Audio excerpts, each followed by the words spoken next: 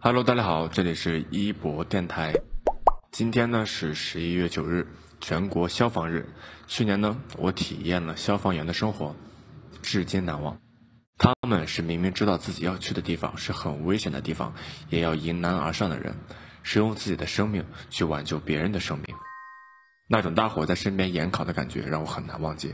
他们守护我们的安全，我们也要尽量不要给他们添麻烦，牢记消防知识。保护好自己，也就是保护他们。